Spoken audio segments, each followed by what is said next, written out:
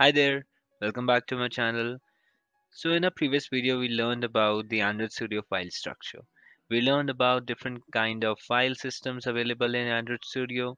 We learned about the manifest file, the Gradle files and our original project codebase files.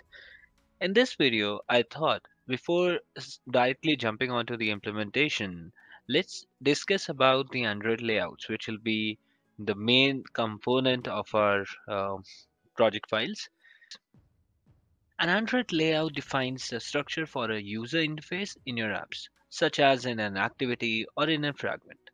So basically, layout is the face of your activity or any view group. All views or widgets are defined inside this layout file. Now, the main components which consist of this layout file um are view group and views. Main difference between a view and a view group is that a view usually draws something the user can see and interact with. For example, like a button or an image view, sliders, or a progress bar. So all these widgets collectively are known as views, whereas a view group is more of a like an invisible container that defines the layout structure for a view and other view group objects. For example, whenever you jump into a layout file, you have that uh, layout tag in top of the the file right where it's mentioned what kind of layout you are using for example a linear layout or a constraint layout frame layout or even a coordinator layout so all these uh, principal tags on the top of the file are known as view groups. So a layout file consists of uh, views, or it can also be uh, consist consist of multiple view groups inside a single layout file. So there are three types of primary layout files available in the Android Studio. The very first one is a linear layout. Linear layout is a kind of a layout which aligns each of the child view in either in either a vertical or a horizontal line. For example, uh, we set an orientation of a linear layout as vertical, then automatically as as you uh, adding new layouts and new views inside that layout, it will automatically be aligned in a vertical or an horizontal fashion. Whereas in relative layout, it's more of like a flexible one uh, as compared to the other native layouts. It lets us define the position of each child, that uh, whether you want this layout relative uh, to the uh, layout view uh, A or relative to the view B. So this way we can we have this flexibility to design the portion of the space which a single view or a particular view will be consisting inside the layout file.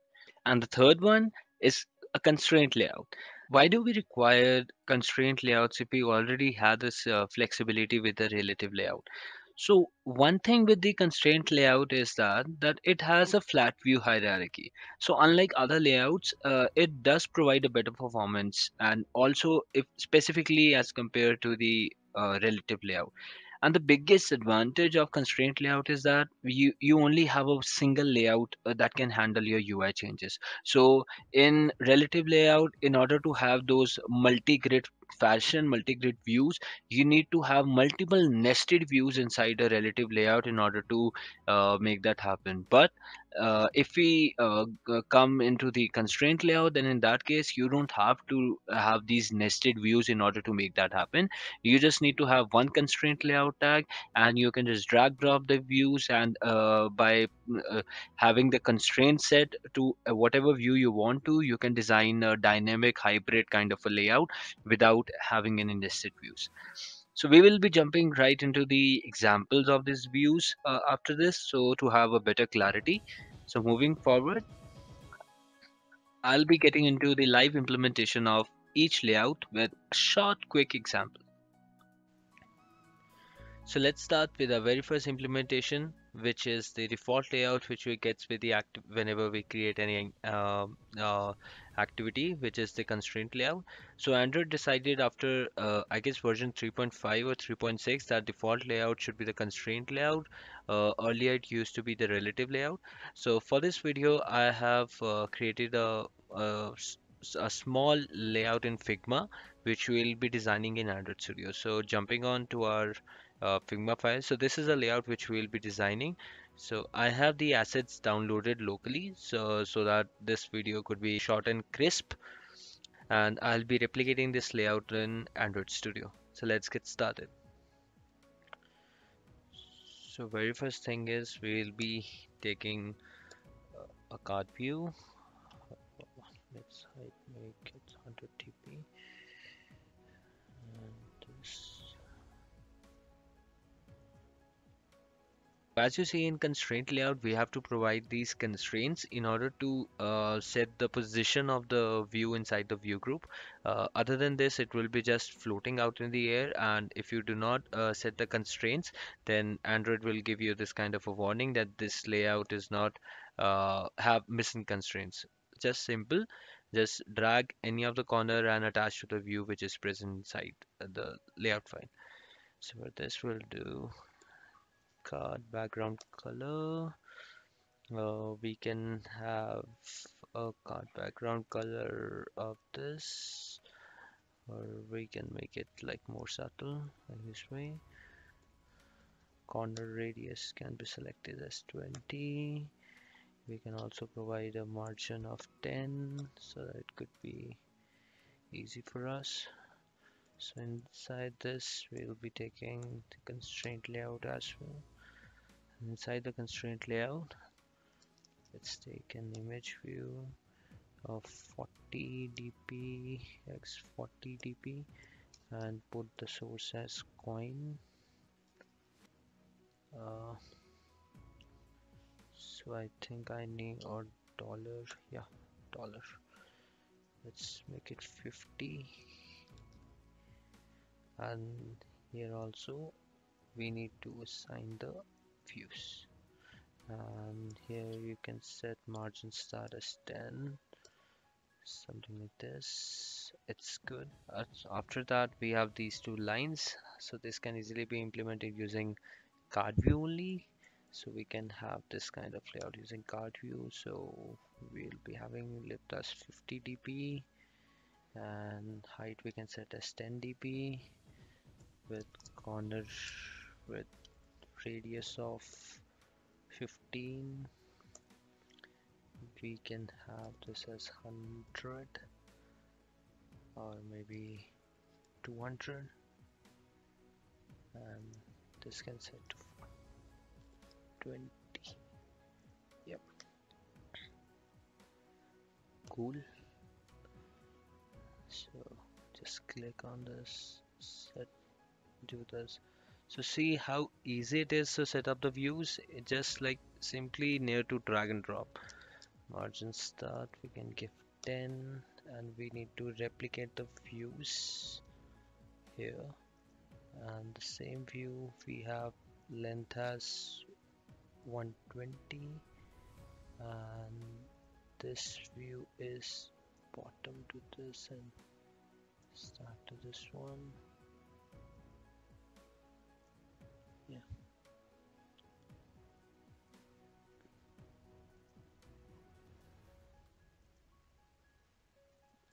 Margin top. We can have a 5 margin. I think it's we are good. And this is also bit material button.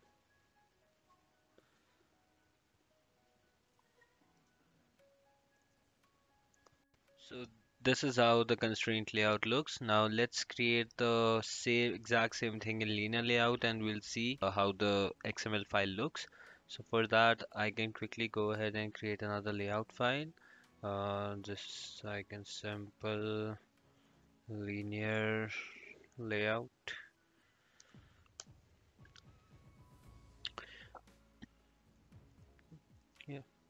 we can go ahead and change uh, this to linear layout. It is very important uh, for defining the orientation if you are working with linear layout. So orientation uh, first we have to do is uh, okay we can have horizontal uh, and inside this we can have a card view match parent and this could be 200 dp and same we can take the card view from here and yeah so we do not require this so you just need to add the namespace declaration and you see we have a nice working card view.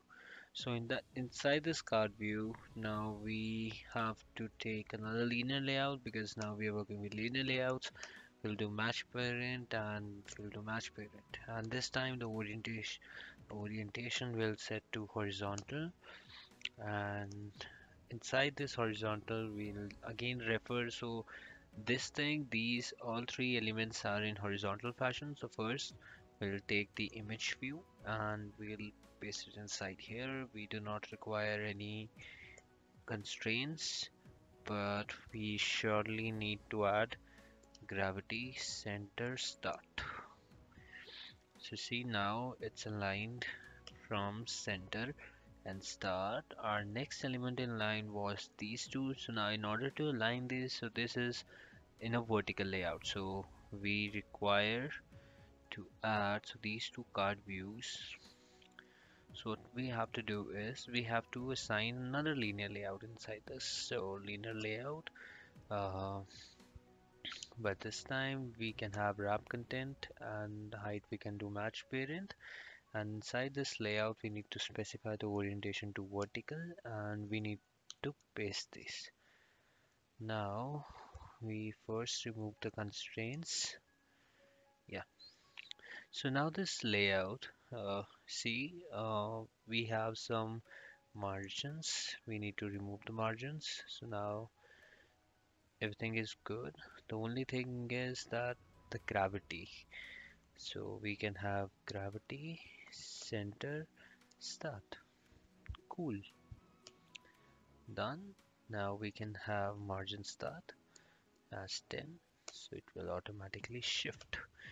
Now our last element in line is the button so what we do we'll just copy this and try to paste it and we are done so the only difference between uh, linear layout and constraint layout is like in constraint layout, uh, it's more like a free flow. In such a complex layout, uh, we require something like constraint layout in which we do not require to add multiple view groups inside uh, this parent group. Uh, uh, instead, we can have this kind of free flow where we can attach the constraints to different different view groups and it can automatically adjust according to the screen resolution. So that's why linear layout is helpful when you are dealing with complex layouts and uh, sorry constraint layout is helpful when you are dealing with complex layouts and linear layout is helpful when you are designing uh, like items for recycler views which just have uh, like um, uh, easy recordable elements and easy uh, align alignment of elements. So in that case you we can use linear layout. And that's all for the video. So in next video we'll be learning about view binding and how we can use view binding to attach the views from the layout files directly in your uh, activity or fragment.